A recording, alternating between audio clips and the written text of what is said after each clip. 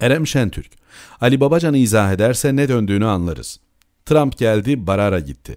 Ama Barara'nın yerine gelen başka bir savcı onun kaldığı yerden devam edip soruşturmayı ilerletti ve herkesin bildiği mevzu geldi dönemin bakanlarından Zafer Çağlayan'a kadar dayandı. Rüşvet almak ve Zerrab'la işbirliği yapmakla suçlanıyor Çağlayan. Bu Amerikalı savcılar niye soruşturma açıyorlar? Suç dedikleri nedir yani? Amerika İran'a ambargo uyguluyormuş. Bu ambargo sırasında İran'la Amerika'dan başka hiçbir ülke para ilişkisine giremezmiş. Yani diyorlar ki İran'dan parayı biz kazanırız ve ticaret yapan herkesten komisyon keseriz. Bize haraç vermeyenleri tutuklarız. O suçlamada geçen altın alışverişinin kat kat fazlasını petrol, gaz, uranyum, ağır sanayi, çelik, uzmanlık kimyasalları ve teknoloji alışverişini Amerika kendi yapıyordu.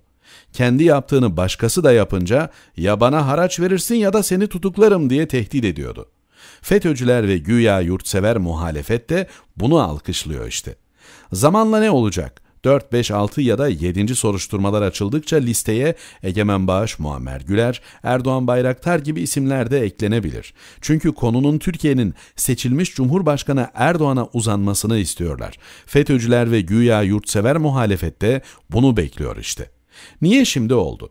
Amerika dış politikası baştan sona böyle.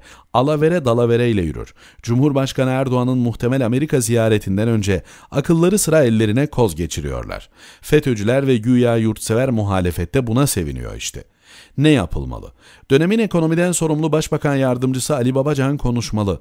Genel Müdür Yardımcısı gözaltına alınan Halkbank, Ali Babacan'a bağlı olduğu için açıklama yapmalı.